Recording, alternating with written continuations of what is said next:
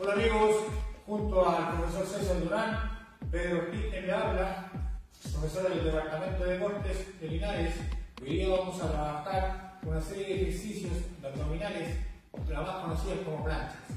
Vamos a explicar detalladamente eh, la técnica del ejercicio para que usted lo pueda trabajar en casa y sea efectivo. ¿ok? Así que a motivarse. Con la- el ejercicio de la plancha, la más básica.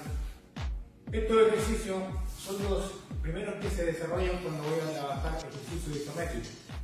Por ejemplo, la plancha, apoyo los antebrazos, extiendo completamente el cuerpo atrás, piernas separadas, un poquito más, separa un poco más las piernas, la cadera un poco más elevada, no va de forma recta, y genero ahí una contracción isométrica en el abdomen.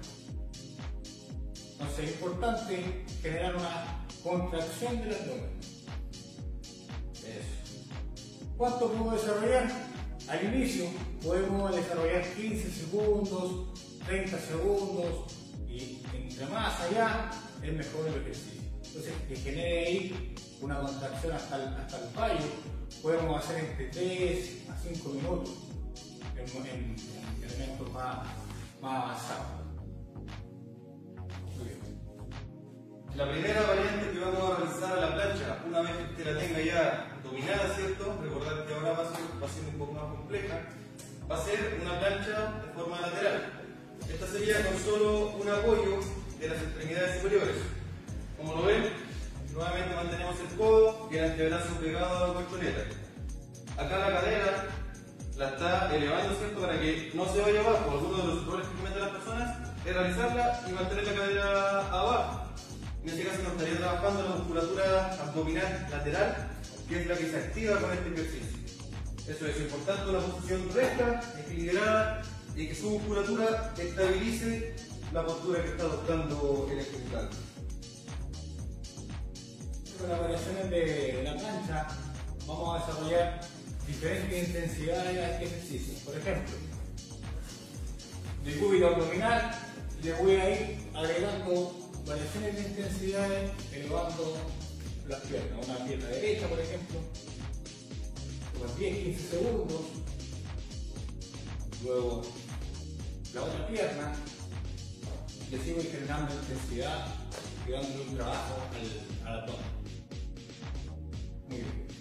Vale decir que los músculos que rodean el abdomen, hay músculos inspiradores, ya sea el transverso, son ejercicios que a nosotros nos van a ayudar a fortalecer esa zona. Es muy importante para darle estabilidad a la volumen. Seguimos con la progresión eh, para la dificultad del ejercicio. En este caso, agregamos dos variantes que son con un poco más dinámicos. El primero sería partir de la posición inicial, neutra, e ir elevando los brazos. Eso es. Al elevar un brazo, quedaríamos solo con un apoyo. Por lo tanto, es mayor la fuerza que se requiere para estabilizar el cuerpo, es mayor la fuerza que genera el abdomen.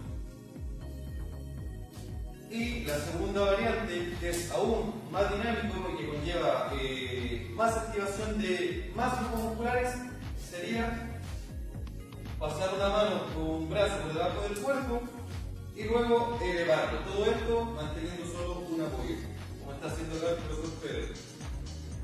Eso es. Mantenemos un apoyo, ¿cierto? Pasamos el brazo y lo elevamos. Todo esto con el objetivo de intensificar la activación para el grupo muscular del abdomen, el grupo muscular que estamos trabajando. Ya chicos, hemos finalizado entonces nuestra rutina de abdomen a través de los ejercicios isométricos, más conocidos como la plancha, y le dimos algunas variaciones. Es importante que siempre que lo vayan a realizar tengan en consideración una buena técnica, la cual eh, es fundamental para que usted no se vaya a lesionar en su casa. ¿Ok? Cuídense harto, que estén muy bien, nos vemos.